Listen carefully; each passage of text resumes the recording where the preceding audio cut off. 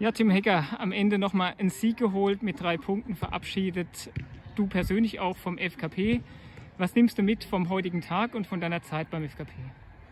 Ähm, also von der Zeit beim FKP, die letzten sechs Jahre, ähm, einfach nur hervorragend, überragend. Ähm, viele Freunde kennengelernt, die bleiben auch für die Zukunft. fußballerisch total weiterentwickelt. Und das Ganze außenrum beim FKP, also ich kann es nur jedem ans ans Herzen legen, bleibt da, geht zum FKP, schaut euch das alles an, ähm, wirklich ein super Verein. Ich hätte mir damals auch nie vorstellen können, mal Oberliga oder Regionalliga Fußball zu spielen. Der Traum ist dann wahr geworden, ähm, das bleibt auch immer in meinem Herzen.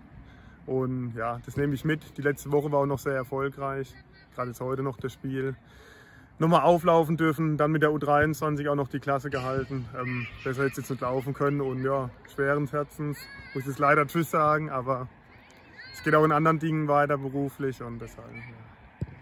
Was nicht geklappt hat diese Saison, leider der Aufstieg. Ich glaube, so, das hätte dir auch nochmal ganz gut getan, nochmal einen Regionalliga-Aufstieg zu feiern, auch den anderen äh, Kollegen, die gehen, David Becker etc.